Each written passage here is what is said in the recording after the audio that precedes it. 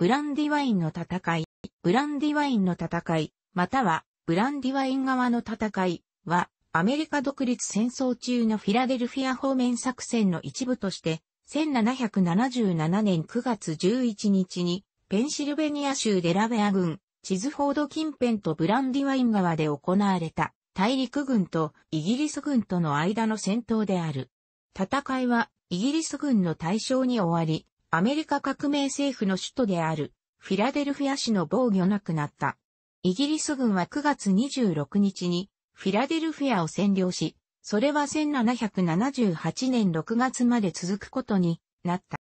1777年7月下旬にニュージャージー海岸のサンディフックから34日間もの悲惨な旅の後でイギリス軍のウィリアム・ハウ将軍機下1万7000名ほどの軍隊が260隻以上の艦隊でメリーラン州エルク川川口に上陸した。そこはチェサピーク湾の北の奥、現在のエルクトン近くであり、フィラデルフィアの約40マイルないし50マイル南西にあたる。細い河口が浅く、泥が多かったために上陸は難重を極めた。ジョージ・ワシントン将軍は約2万600名の大陸軍をエルク川川口とフィラデルフィアの間に置いていた。大陸軍はイギリス軍の上陸を北東に約9マイルほど離れたアイアンヒルか偵察することができた。上陸に手間取ったハウ軍は通常のキャンプも張らずに進軍を始めた。その結果ワシントンは正確に敵の勢力をつかめなかった。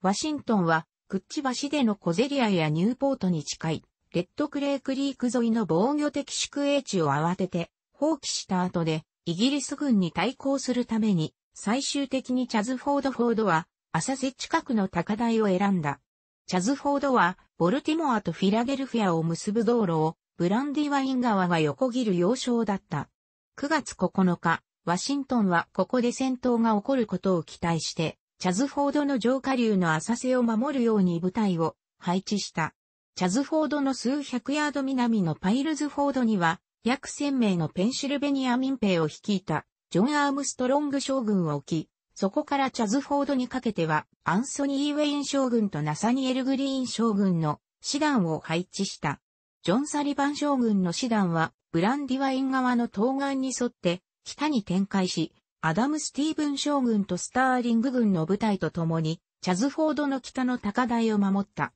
さらに川の上流では、モーゼス・ヘイズン大佐の旅団が、バッフィントンフォードとウィスターズフォードを守った。ワシントンはこれで十分だと思っていた。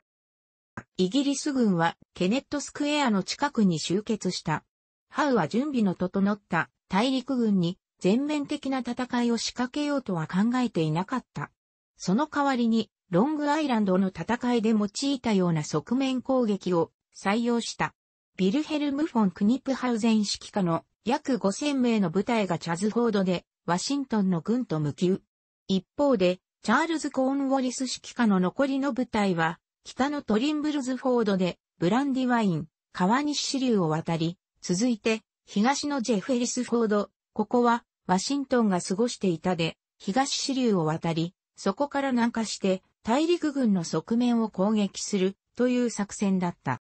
9月11日の朝は濃霧が発生し、大陸軍はイギリス軍の動きを正確に把握できなかった。ワシントンはイギリス軍の動きについて事実と異なる報告を受けていたので、イギリス軍の主力がチャズフォードを攻めてくるものと信じていた。午後2時頃、イギリス軍が大陸軍の右翼に現れた。ヘイズンの旅団が側面を突かれ、サリバン、スティーブン、及びスターリングの部隊が予期せぬ、イギリス軍に対抗するために、部隊の配置を変えようとした。ハウは攻撃を急がなかったため、大陸軍は、チャズフォードの北約1マイルにあるバーミンガム集会所のある高台に部隊を配置できた。4時までに、イギリス軍は、スティーブンとスターリングの師団を攻撃し、これを破った。サリバンは集会所の丘近くで、スターリング隊の側面を突こうとしていた、ドイツ人傭兵部隊の一帯を撃し、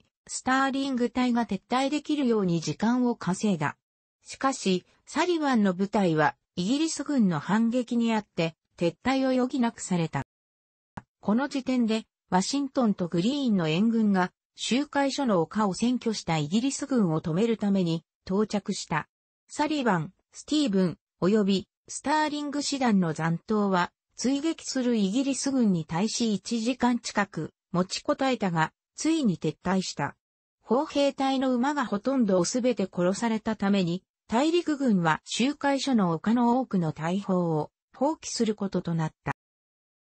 クニプハウゼンは、チャズフォード大あたり、ブランディワイン側の東岸で弱体化した大陸軍中央を攻撃した。クニプハウゼンは、マクスウェルとウェインの師団を撤退させ、大陸軍の大砲を露獲した。アームストロングの民兵隊は、戦闘に参加することなく、陣地から撤退した。遥か北方では、グリーンが、ウィードン大佐の部隊を送って、大陸軍の他部隊の撤退時間を稼ぐために、ディルワース郊外の道を守らせ、イギリス軍の追撃を妨害した。暗闇が訪れると、イギリス軍の追撃も緩み、ウィードン隊も撤退できた。大陸軍はチェスターまで交代した。大半がそこに到着したのは真夜中であり、その後も翌朝まで逃げてきた者のの到着が続いた。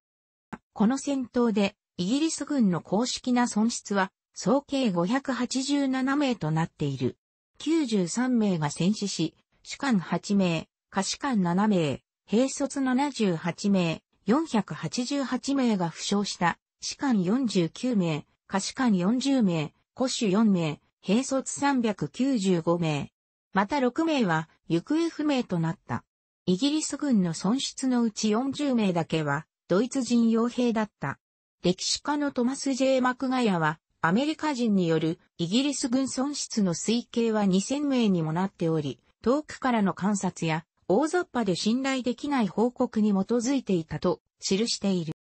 ブランディワインの戦いでの大陸軍の損失については、公式のものにしろそうでないにしろ、報告が公表されたことはなかった。その証言の大半は、イギリス軍側のものだった。イギリス軍士官による当初の報告の一つでは、大陸軍の損失を200名以上の戦死、約750名の負傷、及び400名が負傷せずに捕虜になっていた。ハウ将軍の参謀の一人は、400名の反乱者が勝利側によって戦場で埋葬されたと主張した。別のイギリス軍士官は、敵は戦場で502名が戦死したと記した。ハウ将軍がイギリスの陸軍大臣、ジョージ・ジャーメインに送った報告書では、大陸軍は約300名が戦死、600名が負傷、及び400名近くが捕虜になったと言っていた。